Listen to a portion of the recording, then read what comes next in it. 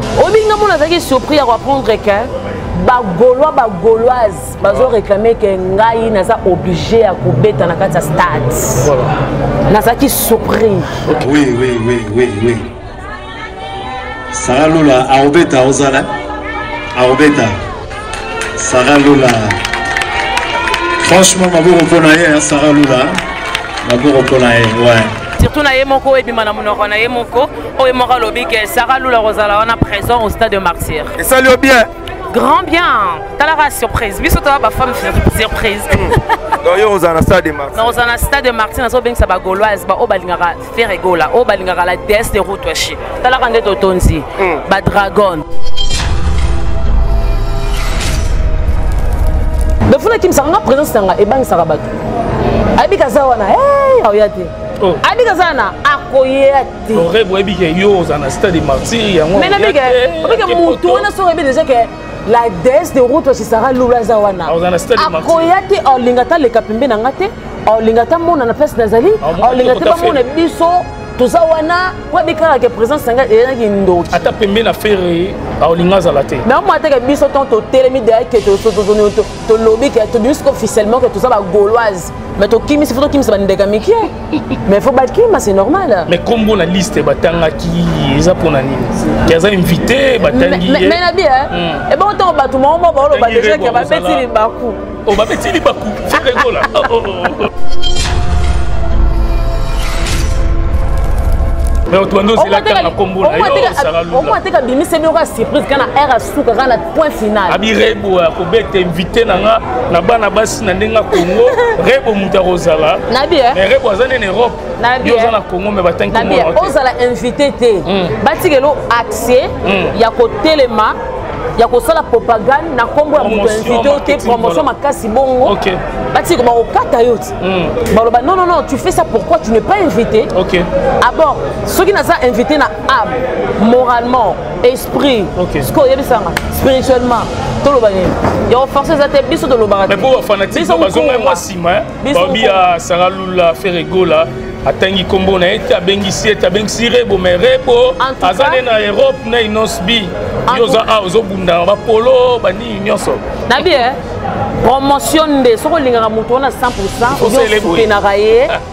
il faut emonana na bilili voilà. natamboli natoki makolo eswi nga nauti échangeur kobanda échangeur ti banda lunga makolo mpo na promotion fe rigola oui ebongo basutenaka motu ndenge nini okay. balingaka bato ndenge nini voilà. il faut avec des actes hein. il faut faire des actes okay. elakisi te kaka eh, eh, papa na ngai mama na ngai boye na boye na boye mais acte eza te ah, laissons le gens dire travaillons et puis bossons mwa biso ya nkunga Okay. biso mona jésus atikela biso baopportunité toleka toganga na bakombo na ye parce que asanti petite wana na nkunga danze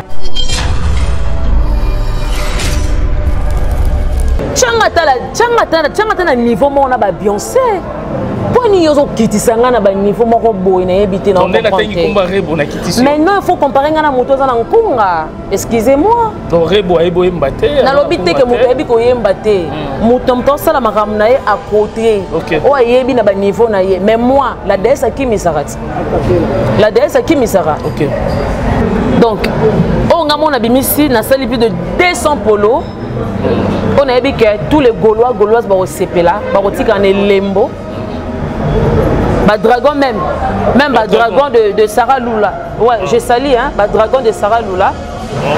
Mais spécial il y a le padre Ezali, il y a spécial spécial spécialement ba dragon te, ba dragon ezali au mususu. Hmm. Spécialement le padre Ezali. Je pense que il y a yeza peu différent, mais autre sali pour ba dragon il y a Sarah Lula, ba dragon ba gauloise. Ba onyo surtout ba lingara musique, il y a papa Hervé. Ba onyo surtout ba lingara pe Sarah Lula. en tout cas bapolo oyo ngai nasali yango oyo nakoremettre yango nazoteka te ezala gratuit oh. ezala gratuitopesapesa bato ba stade de marti oui mpo na kolakisa mokili ke nazosala eloko te hmm. mpo na gagne na nsima nazosala yango avec hmm. tout mon amour avec tout mon cœur voilà. c'est okay. ça mm. yeah. Chassa, depuis des décennies, sa musique est une fierté nationale. Il a imposé ses nuances, son talent, sa voix, dans un style qui a bercé votre quotidien. Depuis des décennies, il reste fidèle aux valeurs, à l'identité, avec une parfaite originalité, sur les traces des pionniers de l'édifice musical congolais. Sa cadence, son rythme et ses équipes ont fait danser l'Afrique. Depuis des décennies, il attend son tour pour chanter, performer et célébrer un parcours réussi avec des milliers de fans dans la plus grande arène du spectacle congolais. Ferregola, pour faire vibrer le stade des martyrs, ce 24 juin 2023 à Kinshasa.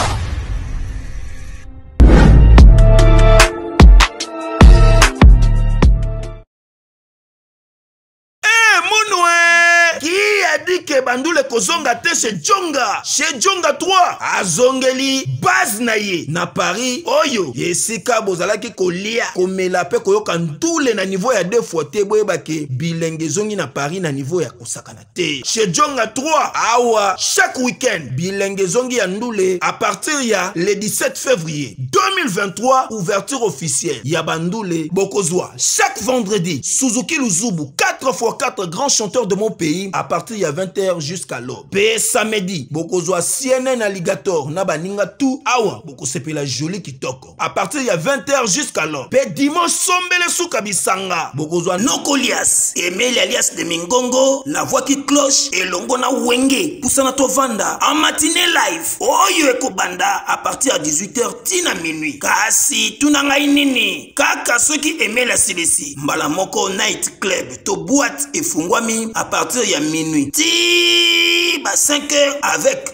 DJ Bobo oyo akosepelisa bino na bandule mpe na ambiance ya kitoko. Malolo. Oui frère, Babi Chonga. La Congolia. Futur, futur. Hein? Moto akosala 50 boîte na kati ya Kin Chongaske. Chez Djonga Twanga na Ntaba ezwami na adresse oyo Noisy le sec na sima ya McDonald numero 25 chemin de grou 93 130 oza mobimba chez jonga twonga na ntaba yango nde ezali moboko ya ambiance na kati ya paris mpe na france mobimba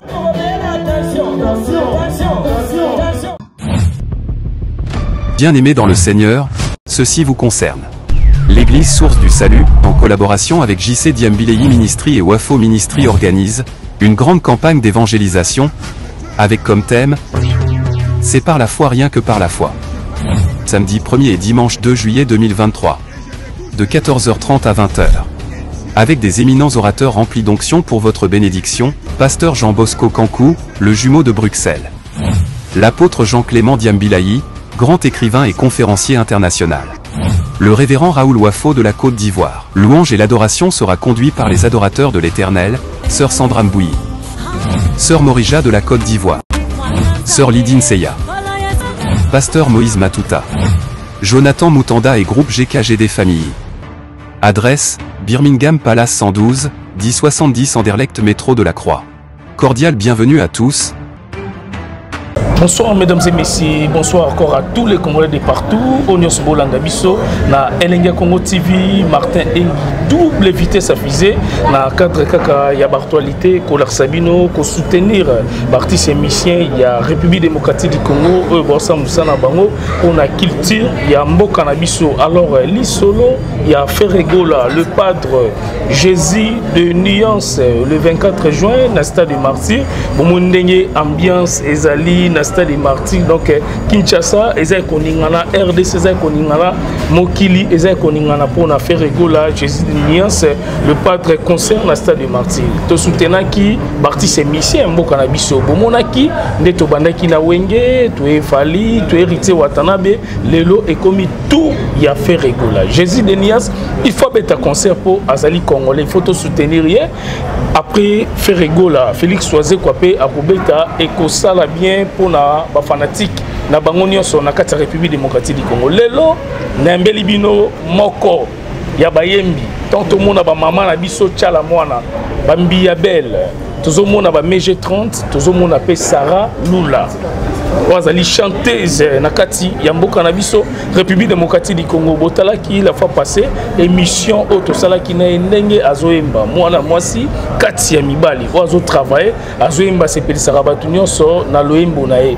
azosala vraiment befort mpo na kosoutenir ferre gola mpo na le 24 juin na stade de martyr azosala bapolo na befort na ye moko azosala bacarnaval na befort na ye moko azosala bamarche de santé talaka kinshasa toza na combien de commune oyo sara lula aza chanteuse oyo toyebeli ye epai ya mama cala mwana mamu national lelo azosala carrière na ye nandimi asoutenir ferre gola mai tokosolola yango nanu mpo bato ebele ebendi mwa polemiki balobi ferre gola asalaki émission epai ya mami lela alobaki bainvité oyo akobenga mais alobaki akobenga rebo mais atangaki nkombo ya sara lula te mais nakotala sara lula azotravaille trop mpona kosoutenir ferre gola nga moko nazalaki témoin namonaki ye nde azalaki na bato ebele mpona marche de santé mpona kopesa bato bapolo mais bazosomba te lelo concert ya ferre gola eza samedi toza déjà mercredi yango moni toyambi lelo mpo tosola nanu mpo na promotion andimi kosunga artiste congolais sara lula nde toza ne mpo esepelisa ladi fumu mokonzi ya loste motema ya mama arlette fumu pourquoi pas na fredi longala urlandais flat hotel les urlandais na kitambo velodrome arret chanique merci mpe na pdg pote malanda de la société eropro service tout travaux de plomberie aza na serieux mpo na bino merci na césar pasoti ya ngoi loboko ya nzambe sara lula aza awa tokosola lisolo ya album na ye oyo il faut abimisa toyebi te soki ebima ane nini mai tokotune makambo nyonso awa toyebi te akomi na mbongo ebele bapolo ebele kosoutenir ferregola mpo na stade martin tokoyeba yango awa soki ferregola mutu azokontribue na makambo azosala saralula bonsoir Bonsoir, bonsoir. Martin Engi ayambi yo lelo awa. Faut tobongisa yango bien. Tobongisa. Hein?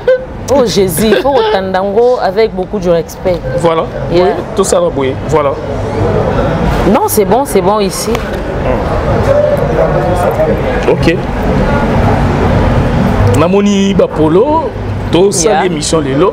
Namoni okay. soutenir Ferregola déjà bato balati ebele omoi nde ingénieur azotindelaka bapolo mpo nalakisa yango donc eh, d'abord boni santé boni... santé malamu voilà. santé malamu na ngolo ya nzambe napesi nao bandeko nyonso to bazolanda ngai mbote mokili mobimba mpo bazolanda sara lula bagauloise bagaulois napesi bino mbote voilà. yeah. alors eh, boni makambo na yo tosalaki émission oyo tosalaki eningisaki mpe mokili tokende nango na systematiki wana depuis mama cala mwana kufi nali non juste opesa message na bandeko nyonso bayebeli yo epa mamu national mpo lelo mama cala mwana aza te sara lula azali bon euh, mpo na kozonga mwana nsima mamu national atiki biso na choc mingi tokanaki te ke marke avant okay. mais nzambe nde kana moto alingaki abendana nzambe nde moto apesaka ye moto azwaka voilà. donc c'était ça mais que son âme repose en paix akei ti mais ntango alobaki okei na ye atikeli bino mpe oyo ya ye elakisi te ke musicien akufi miziki mpe ekufi okay. non apréparelaki bino ke abongiselaki bino nzungu alambela ye bino déjà ke mwana na ye remplaçante na ye totale oyo oh, ngai navandi liboso na oye osara lula oyo asimi miziki ya mam national oyo azo mema yango na badimension mosusu yango balobaki l'artiste ne meurt jamais donc euh, nous sommes là tozovivre toujours na, na mouvacité ya ya musique ya mam nationale mpo atikeli mwana na ye makambo te donc c'est ça voilà donc yeah. sara, sara lula ye toza ne awa nalingi mpona bato ebele baoraisonne toujours mama tiala mwana bazoraisonne sara lula mpona mhm. kosepelisa bato lisusu mpona mbala mbala suka te mpo obanda osala yango nangi juste osala eloko moko ya mama chala mwana ekosepelisa bandeko nyonso batalo mpo tokota baactualité misusu avec plaisir ça c'est pour faire toute euh, le gauloise tous voilà. les gauloises mm. gaulois gaulois oyo balingaka miziki oyo balingaka sara lula oyo balingaka ngai mpona kosala bango plaisir normalement atovandi nona eza na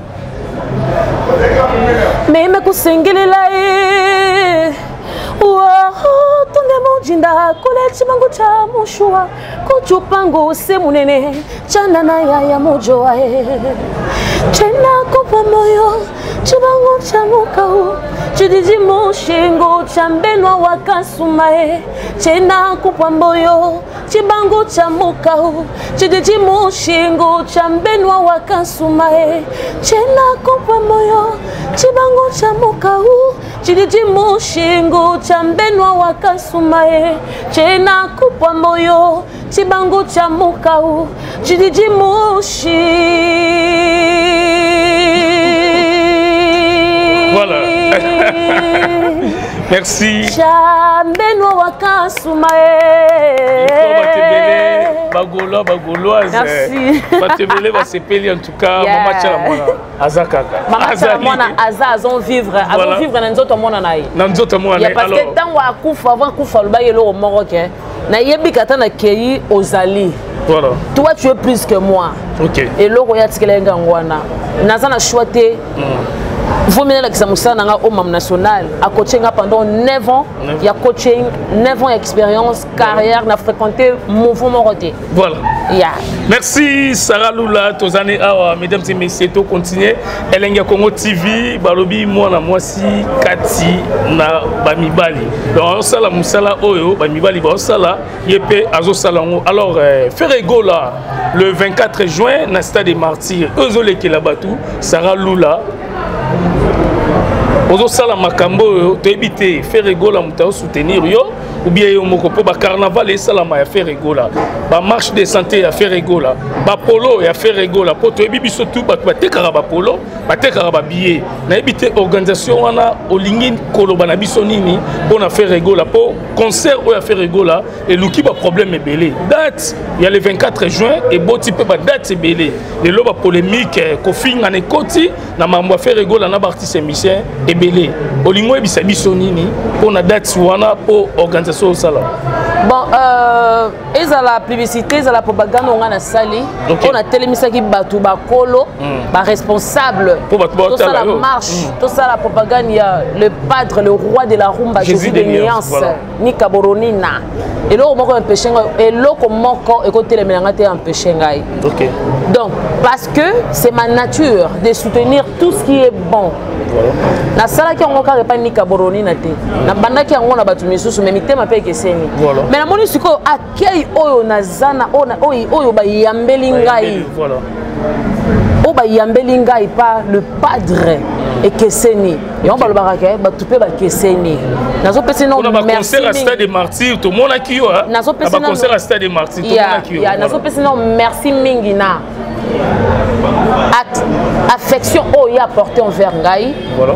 et puis opportunité et puis euh, porte oyo afungweli ngai parce que c'est pas donné à toutes les artistes okay. toza ebele toyembaka mais ya motu eza kaka mitema nde ekeseni voilà. pour moi ezalaki vraiment eloko moko ya bien na telema en personne nga motu na telema vraiment na soutenir frère na ngai ferre egola à 100% okay. nasala yango mpona mpona koganye soki mpe eloko te bato bazoloba e te azosala yango mpo bainvite ye boye e pourtant nazalaki déjà invité depuis kala ezalaki même orya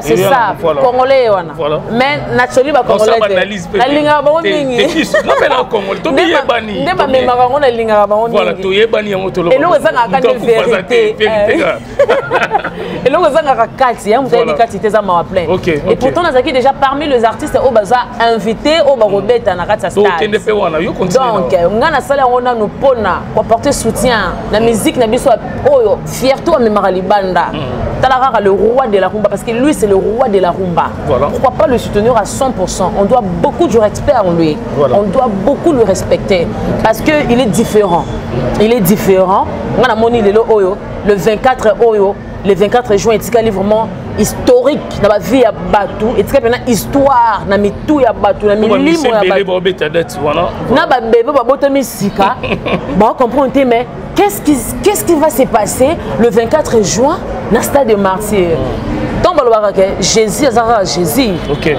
aza kaka yesu parce que yesu mpe azalaka mpe na banguna aza jésus il faut babundisa ye c'est normal voilà. mais pour moi je suis vraiment d'accord te na bandeko nyonso to basoulevaki ke atya mpe kaka na date wana ye mpe kaka on dirait on dirait po toza na lacoste aza na date wana toza na minion bram toza na hogaoka toza na baJDT ah bon bato ebele baobeta bamusicien ebele boye nayebi te mpo aloba le 25 bato ebele baobeta na date wana nano misu ya basponsor misu ya nini bazali ah bon tolongola werranson mpo aloba ye ndeke eza journée mondiale mpona clf rebon wera asalaki eda video moko ya bien tolongoli na wera bato ebele babeta ah oui en fait mm. nazo félicité le ngiama le roi de la forêt le roi de la forêt na acte oyo oh, asali tellement esonaki déjà ke na bandenge na yango mm. mais ye moko lokwa conscience ezongi azongi sur place ya mm. kosolola na peuple ya kosolola mokili bimi na monoko na ye asali yango asali yango na ndenge azomema yango wana nde mokili ezomema te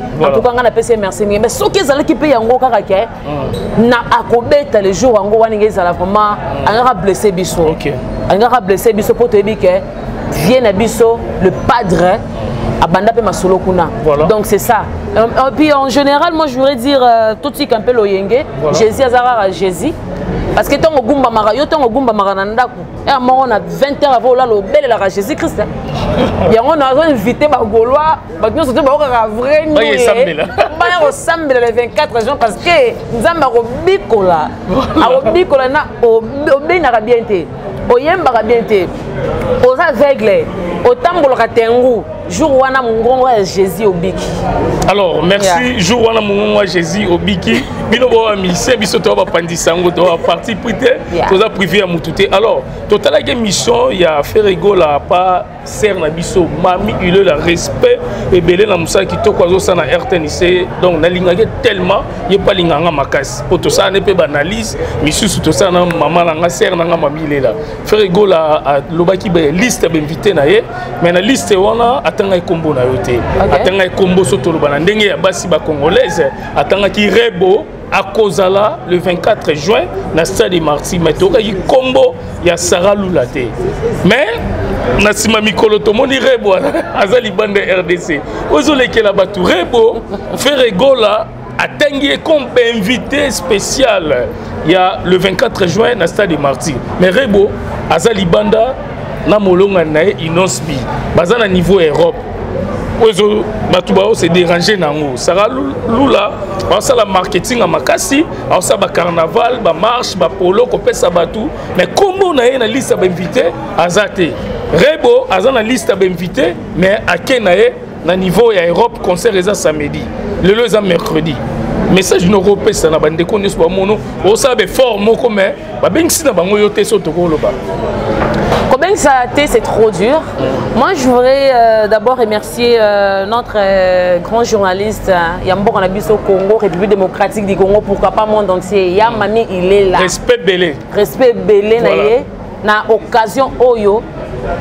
oyo oh, ye apesi ngai na journal lelo oyo oh, nautaki rtnc mpo na kocelebre la, euh, comment euh, fête euh, la fête de la musique, la hein. musique voilà. donc j'étais parmi ces invités j'étais parmi ba oyo bazo honorer musique na mboka na biso ya Congo voilà. pourquoi pas euh, monde entier j'étais parmi ces artistes là na outi ko prester je pense que tout le monde oyo amoni ba image wana alandi yango asepeli voilà. bon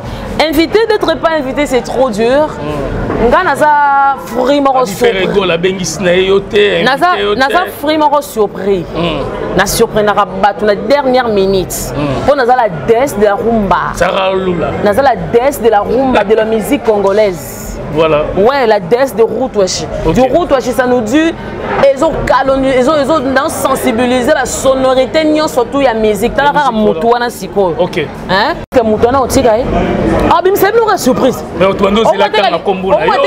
omo ateka abimisa bino ka surprise kana aire asuka kana point final abi rebo akobeta invité na nga na bana basi na ndenge ya congo rebo moto akozala nabi eh? mais rebo aza nene europe yo oza eh? na congo mais batangi komona eh? te ozala invité te hmm. batikelo accès hmm. ya kotelema ya kosala propagande na nkombo ya moto invité te promotion makasi bongo batiki bakokata yo ti Mm. baloba non non non tu fais ça pourquoi tu n'es pas invité okay. abord soki naza invité na âme moralement esprit okay. siko oyebisanga spirituellement toloba nini ya oforce eza te biso tolobaka te mpo bafanatike bazonga yango nsima baobi ya sara lula feregola atangi nkombo na ye te abengisi ye te abengisi rebo me rebo aza nde na europe na inosbi yo oza awa ozobundana bapolo banini nyonso nabi e eh, promotion nde soki olingaka moto wana 100 osutenaka ye il faut emonana na bilili natamboli natoki mm. makolo eswi nga nauti échangeur kobanda échangeur ti banda lunga makolo mpona promotion fe regola oui ebongo basutenaka motu ndenge nini balingaka bato ndenge nini Voilà. Il faut avec des actes, hein. il faut faire des actes. Okay. Et là, si des gars, eh, eh, papa nangai, maman nangai, boyna boyna boy. Mais actes des actes, ah, laissons le gens dire. Travaillons et puis bossons. Moi, biso ya nkunga. Biso mona Jésus qui a biso opportunité to leka to ganga na ba kombo na parce que senti petite wana na nkunga danze. Ouais, parce que mingi mingi, il faut se respecter, nous sommes des grandes dames. Voilà. Il faut, on doit se respecter. Quand on respecte nos euh, musiques na biso,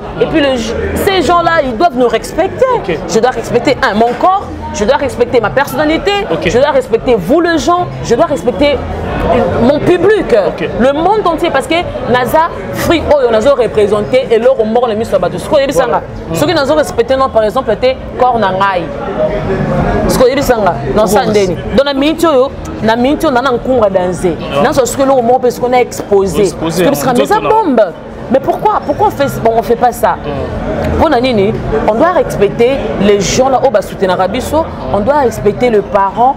bana na biso tozobota nanu lobilobi mpo na venir na bango bachantese ndenge bozali entre bino bachantese bana basi ebele mpe bazoexpose nzoto na bango bayembaka bien bazosala yango mona yango koloba na bango nini mais c'est ça yango eloko na toloba ti koexpose liso oza na ntina moko te toza na culture na biso toza bantu on doit respecter oyo etangami bantu okay. we a tosali ndenge nini a ah, ebele na biso na bia a ah, totikali eloko olobi wana ngai nakosoto na monoko te parce que je respecte le monde a voilà. Ah, totikali na bafaçon nini nyonso tu soki etangamaki owana na nkunga te owa na yango te soki etangamaki oza na yango te oza na yango te eh, eza teke soki mpe nini baphotoshoot mpe ekoma modification makasi oh, eza oza na bwati te omeli shisha te osali boye te boza bafina bafitemoniazo mm. modification moko yone bapareil photo oneyebi te eh. mm. fo mo bakanga mpe baphotographe mm.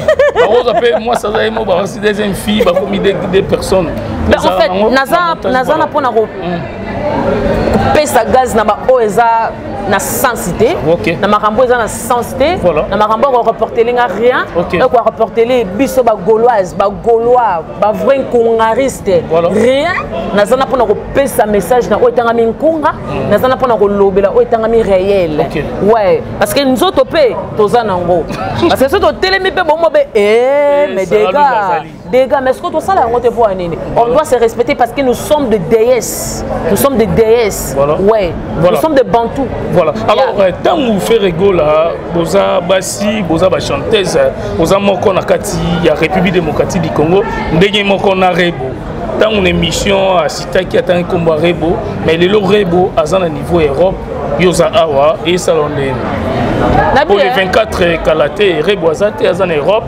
akoya to akoya te mpo batangaki nde ye yo batangaki te mais yaki europe yo osala befort otikali ya koya to koya te yo ezolobelo nini nabi e hmm.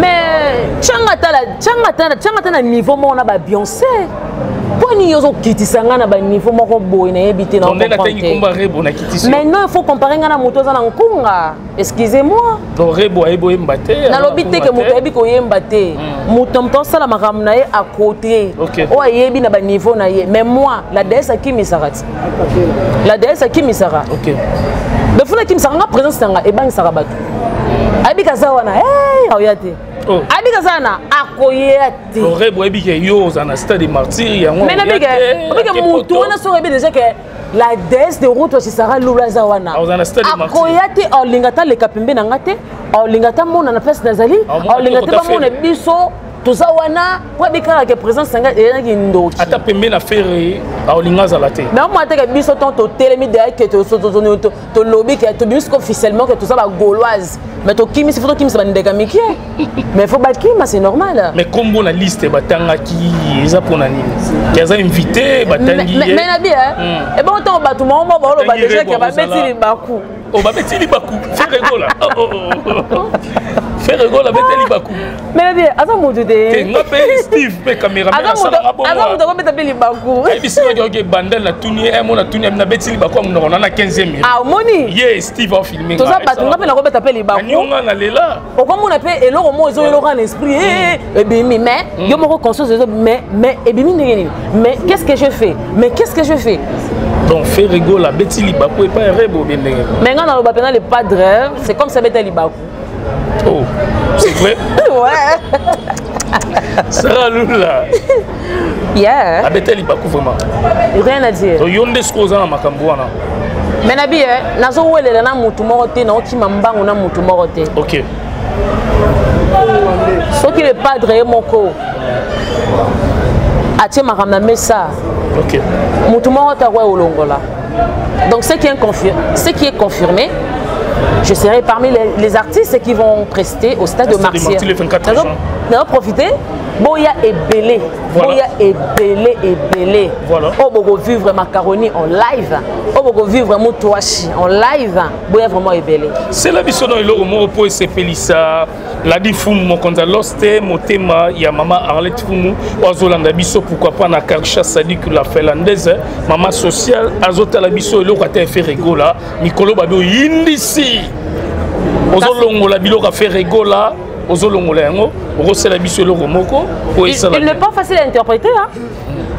obi na interpreta na ngai na yemba mm. mais oyo mpena nalobi mpene nasuki ezalaki nde le padre okay. moto asukisi ngai naoloba na yo nzambe azomona nga eza ye mpe place oyo ngai nalobi mpena ke avant na bande kotravaille na loyenge sikoyo nakomi nde otravaille oh. ah. sikoyo nde nakomi otravaille je te jure on doit être vrai on doit être vrai na ndako travaille na ngai mm. mais sikoyo na sentir ke aza na babiloko moko oyo ezolakisa ke soki ointerprete ye okomi oyo nga lelo oyo la déesse okutwa chez tout le monde afélicité nga mais mm. t'es grave c'est pas n'importe qui qui, inter, qui, qui, qui interprète euh, le padre ferregola c'est pas n'importe qui voilà bato bayoka yango bayoka yango nanu ah, tozonga vraiment tosola likambo ya bapolo likambo ya baorganisation likambo ba marche de santé ba ah carnaval ah oyo ezolekela bato sara lula ah oui tout ça pour faire voilà. plaisir à patron na biso aza deja sur place mokonzi ya 155 place otomboka na 4 kitoko restaurant bazomona ya kitoko mm. toza na boite ya monene kuna ya kitoko toza na terrasse ya libanda ya kitoko basalaka ntaba ya kitoko ngulu ya kitoko masanga ya malili bientôt la nazo démarrer déjà musique aza déjà sur place voilà yo moko ozalaki mosuni na ngai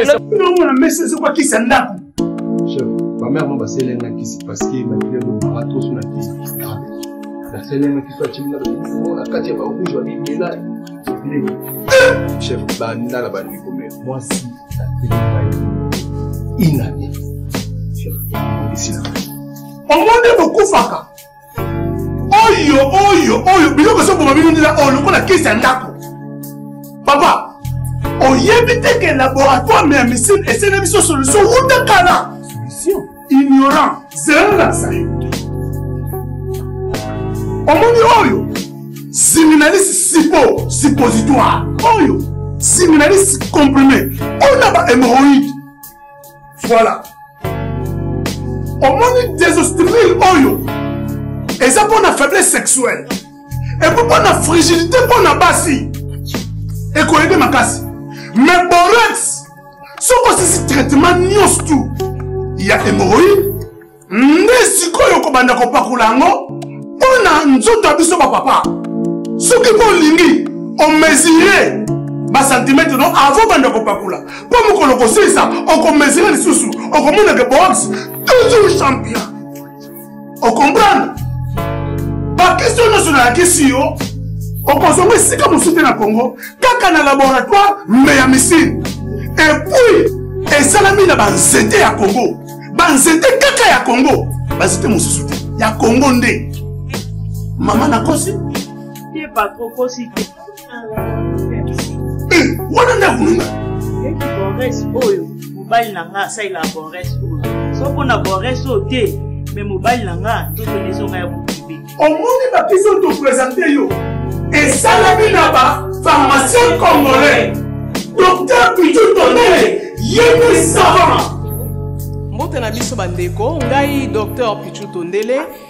naza pharmacien ya formation nazwi formation na université ya kinshasa na faculté ya pharmacie epuis nasali bamaster na niveau ya université marien ngwabi mpe na niveau ya canada na transformation des agro ressources epuis préparation ya bacosmétique thérapeutique naturelle nazali koevre na laboratoire crmta oyo ezali laboratoire meemicine spécialisé na production ya baphytomédicaments c'est-à-dire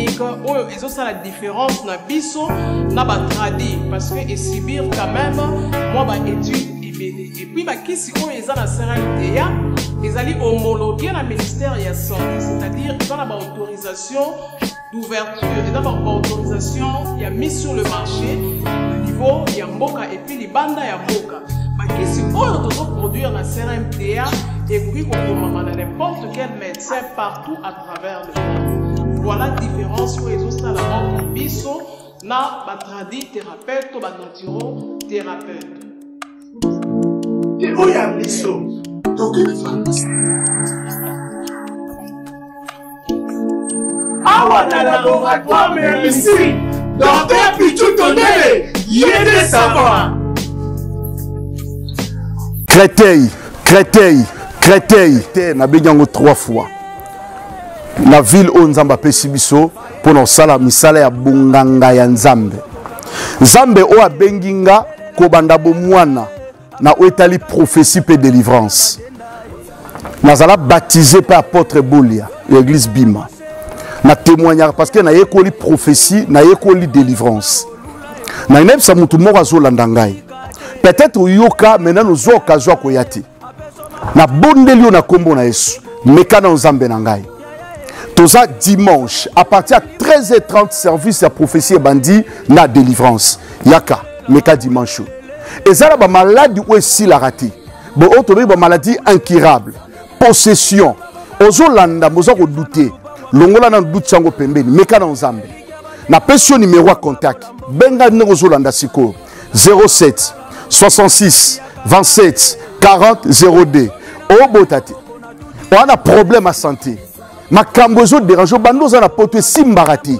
sikoyo nzambe na ngai aza prêt mpo abikisa yo adelivre yo toza na créteil nzambe apambola bino nyonso sacerdoce erataka te jamais erata yo deux invités. invité dimanche à 13h30 moto ya yo merci je suis la servante claudine du ministère pour euh, christ pour tous à paris nous vous attendons tous, venez nous rejoindre le dimanche de 13h30 à 16h30 pour notre culte prophétique. Euh, nous sommes situés au 1 voie Félix Eboué à Créteil, très près de la CAF, en face de la CAF et près de l'hôpital Henri Mondor. Venez nombreux, nous vous attendons tous.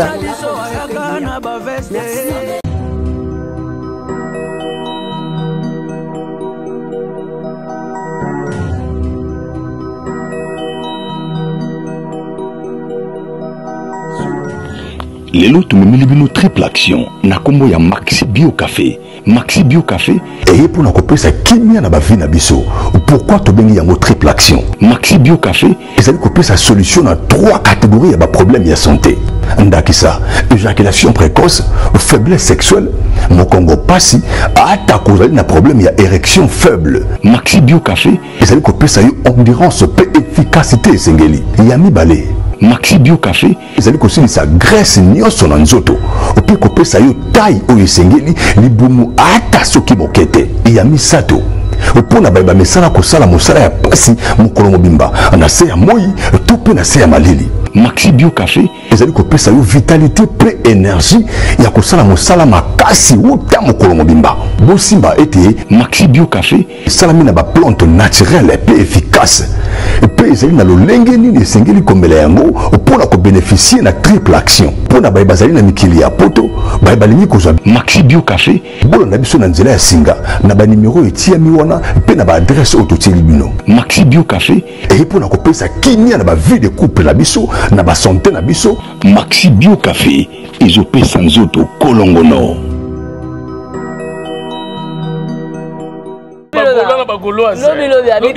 mikolo bazolela déjà eh, eh, eh, jour je moins deux feregola asala bato nini yango papa nayebi te ana nini yango donc bato baozeleveyebi te aza nani ile kiloyebi te batangi yo te na liste mbala moko bamono na podium tu es qui tu bana moko bamono na podium tu es qui batangi kombo te mais bamona aza nani voilà alobisi monde entier bato bati mabaya de parci par là oh non mm, mm. non non non non non mm, je suis golaise à mort est ce que bato baobanga yo mpe ndenge na baactivité ozosala ebela bato bana basi baobanga yo chanteuse na bie biso nde nkunga ntango naogangela nkunga ya koswana na ngai na nkunga Mm. bana jésus de nuance nkunga neti ebongo ye moko soki otali ye ebongo bana ozwa ndenge nini nkunga papa tobeta masolo misusu tobeta masolo misusu alors euh, tomoni bapolo nayebi te organisation na yo eza ndenge nini mpo nga mona azalaki sur place na bando oleka nauti na pullman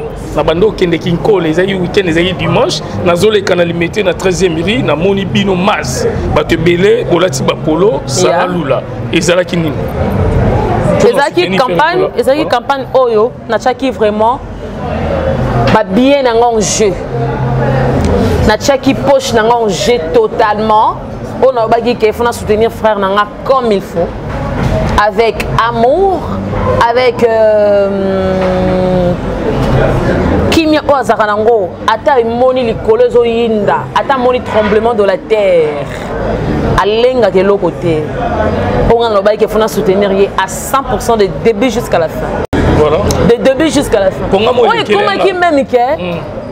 obinga momi azalaki surpris nakuta elekele nga nauti makampo anake pullman na gombe ntango naokende kinkole nazoleka na 13e mairie namoni bino bato ebele bowuti na 13e mairie kote hôpital saint joseph ya obinga mona azalaki surpris ya koapprendre ke bagaulois bagauloise bazo réclame ke ngai naza oblige ya kobeta na kati ya stade nazalaki surpris okay.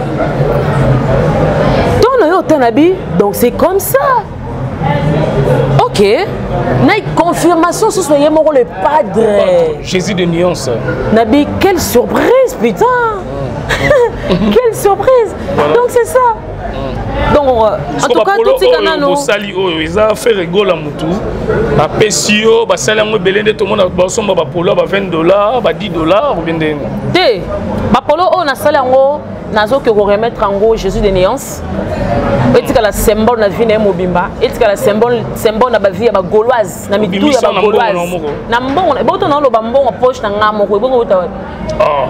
ebongo outa wapi donc oyo nga mona bimisi nasali plus de 200 polo oyo nayebi ke tous les gaulois gauloise bakosepela bakotikana elembo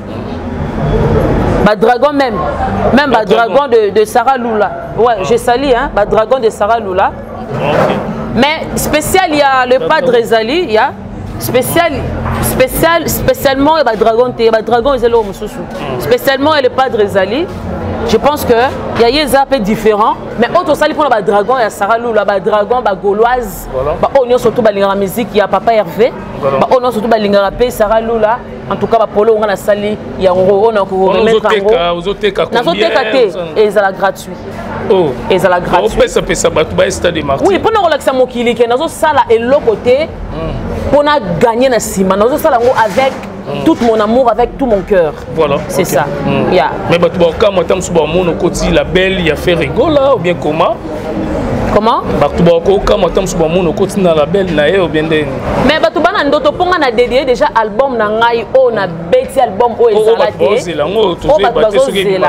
oyo bato bazozela d'ici là ifo na lance yango hmm. mon tout premier album hmm. oyo nayembi na baicone ya mboka ya musique ya congo oyo nayembi na bapretre ya musique ya congo misiki wana ezala te fo nabetela yango tolo mpo ezala te il faut utaka na babiso kaka bala des de la rumba bala des de route washi tobimisa babiloko ya bongo bozala surpris te album wana eza déjà dédié na le padre okay. parrain eh, daya na dédié yango donc a bénir yango hmm, ebima ebima quand d'ici là sila yeah. tokokɔta 2024 te album fo ebima voilà bitumba ferre egola ozomona o ndeni mpo tokende déjà ferre egola bato ebele babi babundisi ye tozoyoka bagolois bagolois azo ferre egola babundisi ye bitumba ebele badate moko na bato me bato mosusu baloba babundisi na bango ferre te ezaka ya bango yo ozomona o nde nini date le 24 juin ya ferre egola na stade de martyr se bitumba eza vraimen ebele mais nabi yaka motema pembe mpe maboko pembe mm. le padre a jésus bauti olekaka baproblème azali na prison akufeli ndeko baboya abeta palais du peuple stade de martyr makambo ezoleka ebele tomoi mpe sara lula otelemeli makambo ebele mwasi kati na mibali yesu azala toujours combattu mm. azala toujours combattu mpo azalaka ye nde moto asimbaka bato wana ya yango monaka jalousie ekotaka mm. donc c'est tout à fait normal babundisa ye mais aza kaka molongi yo moko teke stade deja etondi mm. na libanda mais motu moko akokufa aza te motu moko akozoka aza te pourtant ye nde aza mpo abikisa abikolaconcert ebetami te deja boloba moto akokufa aza te akozoka aza te ebongo jour onso non non non côté sécurité nano eza nano total napesi papa euh, général kasongo Mm. bambote ebele place azali assuré biso déjà ke y aura plus de 2000 assurance ezalaka na baconcert nyonso stade de martyr y aura plus de 2000 soldats oyo mm. bakozala na mpona sécurité totale ya makambo ekoleka na stade de martina le padre mm. donc bosasire babangisa bino te balendisa bino te baya ebele Changu. Soko lingaka musique ya solo, leka Changu place batie banderole wana, place batie ndule wana, mm. leka yaka stade. Soko yebi pena ndule ya solo, leka yaka stade. Alors pona yo samedi yo banda wapi non po na kobengisa ba, ba commune nyonso ya Kinshasa place ba ozwa yo vraiment oyo bato no bakozala ba fanatique na yo ekobanda wapi? Ah, bon. Stade des Martyrs. En tout cas, départ et au bandana bandal na bandal voilà na kimbondo mm. départ ebanda na kimbondo na restaurant euh, cpo mon africa ok ya et au banda wana tous les gaulois gauloises tout voilà, na wana mm. ouais soki aza na chance akoti mpe na bus oyo nakozwa ata 5 bus voilà. emema bagaulois wana tokota nango na kati ya stade donc euh, c'est ça un peu nyonso wana feregola opesa ata differente eh, makambo naza na mposa azongisela nga eloko te nazosala yango avec mon cœur mhm. nazoloba yango nani aza na nsima na yo lobaka yango oyo nalobi apart eh. feregola nani aza na nsima na yo mais naza kaka nabi e eh, bagolois te nazaka na bagolois te nasala bango nde baotombola ngai lisusu tala mm. niveau ebongo oyebisanga boso naza na bango te banani mosusu naza na bagolois na bagoloise bango ndeya batelemi ndeya pike deja sikoyo yebisanga na olenga nini nani eloko olenga te ngai eloko ebangisa ebangisaka nga deja deja esila eleka eleka mpe namona yango te omonaka jour wana na podium boye saka lula mati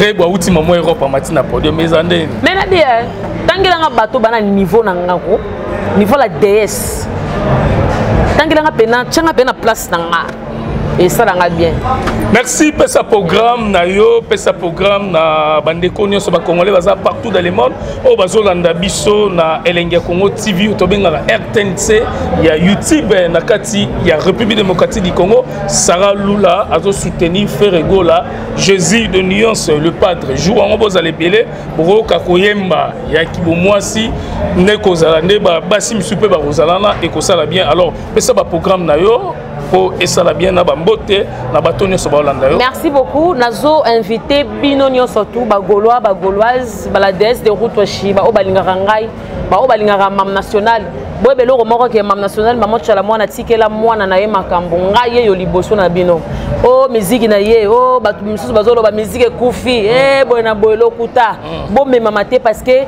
atikeli bino ko la plus pure la plus pure mm. naza awa na cadre na ngai ya répétition ezalaka public bomoi déjà ke bato bakomi kotonda bakomi kosenga ngai eh.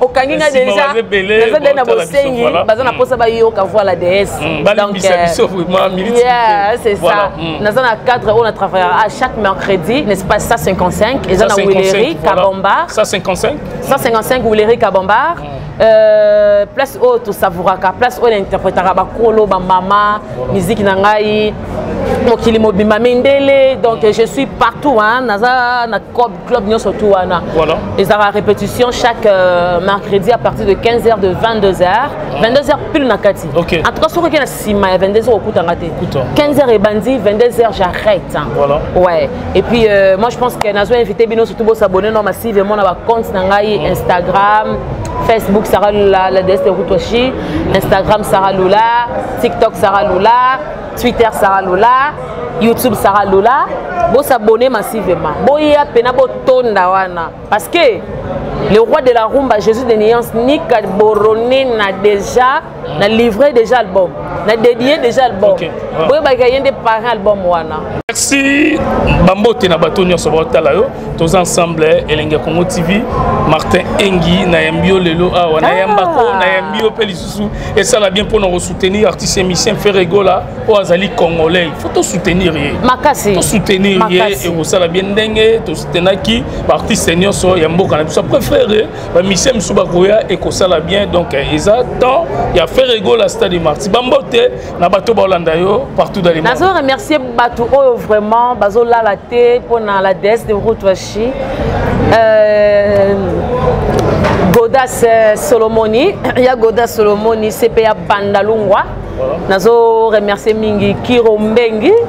nazo remercier mingi nazo remercier mingi nazo remercier mingi Dieu merci ndoma nyamekila nazo remercier mingi Jojo Mulume oyo aza toujours na lito ya Sara Lula nazo remercier mingi Jiba Mileke Helen Pro Jojo Lina nazo remercier mingi bato nyonso to balingaka miziki na ngai baoyo batalaka ngai na monde entier boyebake kala mingi te makolo eza na bamboka na bino nyonso tu wana beta mpena nkunga mpena ndenge esengeli donc ndenge mpena esengeli bokozala desi te je pense que badetail misusu na kozonga kaka tokosala so émission merci na yo en tout cas le patron de de, euh, de, de, de non, la chaîne. Émission, émission. Émission voilà. euh, Congo Elengue. Elengue Congo Elengue TV. Congo voilà. TV. Martin. Mmh. Voilà. C'est Martin, merci beaucoup pour la présence et puis mmh. pour l'accueil. Yako Landanga Nano.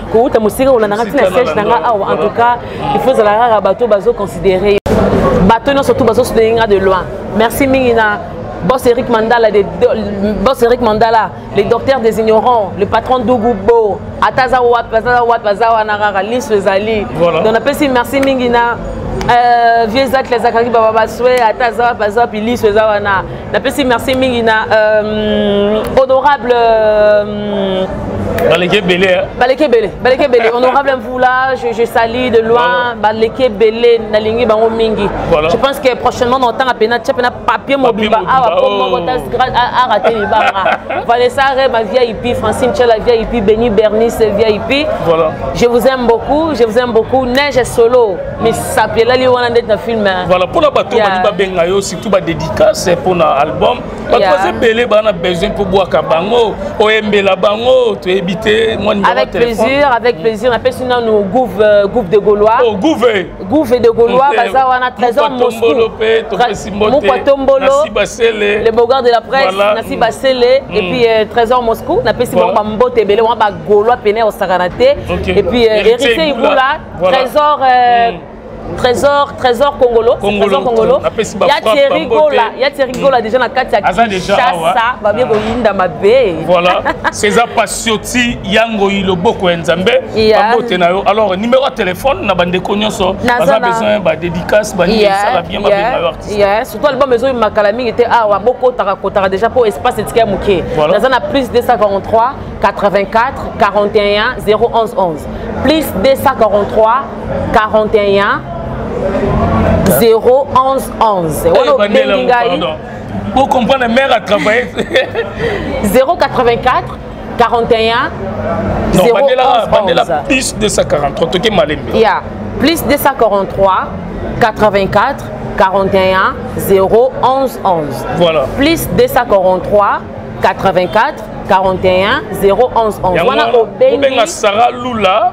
mpo na album oyo ezobima badédicace bamisu mpe bokolinga bosini batitre ekosala bien aza na mpo na bino azosoutenir ferre egola le 24 juin concert na stade de martyr eza bato mosusu obosani fobwaka bango ye napesi akim dj na biso ya 155 awa akim akim dj ya 155bayaka babos bayaka akim dj abetelaka bapretre ye wana miziki moko ya classe eh, bayoka donc akim eh.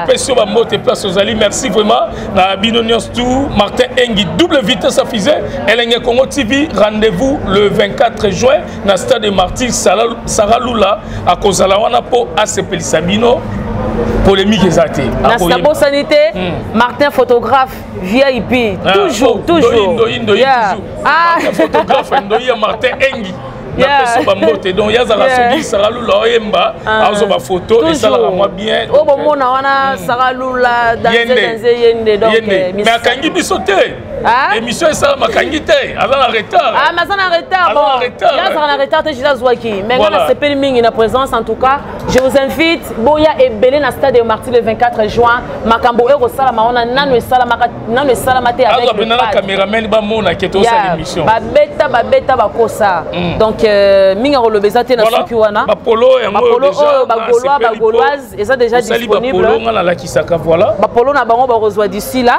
mm. bino bo bomoni te ouais les dragons de sarah lula bapolo yango oyo kala mingi te nazolivre bapolo na bino esalami yango nalobi nasali plus de 200 polo mpona kolivre yango tonda na kati ya stade wana mm. donc euh, c'est ça un peu jésus de nuance fere egola koyemba tomoni mpe sara lula mopanzi ozoyemba esala nde nazopesa nao merci mingi na jésus de nuance na occasion oyo ye apesi ngai c'est pas donné à toutes les artistes voilà. c'est pas donné à toutes les artistes merci mingi papa herve place ozali napesi mpe babebe na ngai baosias baozoisis bana wana nakoli na bango na lokolenge donc ezalaki mpena chez biso bah oui ezalaki mpena chez biso na ngiringiri lokolenge mapoto ezalaki mpena biso première parcelle mpa batyala mwana mm. eh, sango ekendaka bongo mpo lopongo na biso ngai mama asombelaka biso mm. Mm. donc soki oleki moke osilisi epa mama marie mama aboteli biso papa herve papa ferre gola bana na ye banda osomata so baosomba maki so baosomba nini ozias na pesi susu ba pe à son âme na vie na ngai Guy Guy Gola digital oyo banda koloba na ngai toujours ke petit na ngai François oza na mama na danzaka talent donc euh, c'est ça voilà, et voilà. puis euh, merci beaucoup voilà merci na yo ndopesi biso temps pour tout ça en émission yeah. sali biso bien na elenge congo tv merci beaucoup merci. merci au revoir merci mesdames et messieurs elenge congo tv sarah lula rendez-vous le 24 juin na stade de martyr ensemble na ferregola Jésus de Nuance, le Padre. Merci na bandeko Nuance bozo soutenir partis émissien il y a République démocratique du Congo botika malam ba polo yango bomoni image Ferregola Sarah Lula. yango bomoni bino nyonso tout sara lula 100 yeah. soutenir ferregola yeah. donc mpona concert ya stade de martyr yeah. boye nde ezalaka donc euh, basi soutien yango oyo soutien na monoko te na video te ya 5 minutes na video ya 5 minutes te oh. soutien nde total oh. tambola motoki etokama bimisa mbongo no na poche yango wana babengi soutien oyebi natala publicité moko ya bebe rico na stade de martir alobaki nabayi bapolemike nabayi bapolemike Donc, bébé Rico parle pas bon. D'abord, il va polémique. Bébé Tchanda, d'abord, il va polémique. Ah, d'abord, il va te. D'abord, il va polémique. Polémique. Polémique. Il y a quoi yemba nkunga. Mais il y a il y a nini te. Il y a nkunga. Wana yote. Biso tona makamune nkunga c'est tout. Merci Karisha Sadik la finlandaise, maman sociale, merci na Eloise Mopatas na kati États-Unis. Merci na bino na stu Hollande Martin Engi. Double vitesse à fusée, botika malam. Merci. Merci beaucoup.